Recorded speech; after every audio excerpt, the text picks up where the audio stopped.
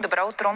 След дни наред с слънчево и необичайно топло за януари време, днес максималните температури ще паднат с повече от 10 градуса. Ще има и валежи в следващите дни. Вече и от сняг.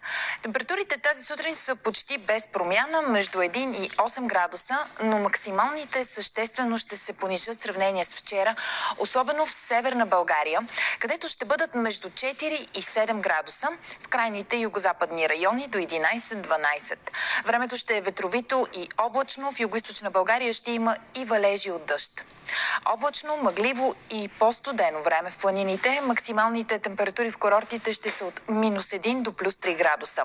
Ще дълга до умерен югоисточен по най-високите върхове на Рила и Пирин югозападен вятър. Значителна ще е облачността навсякъде на Балканите, на много места с валежи от дъжд. В Албания и Гърция ще бъдат и, и интензивни. Причината – средиземноморския циклон, който определя дъждовното време и на апенините. С валежи ще бъде и в много райони от континента, с изключение на страните от Централна Европа и на Пиренейския полуостров, където ще преобладава слънчево време. У нас и през почивните дни ще има превалявания, предимно слаби и от дъжд северо-западните райони от сняг.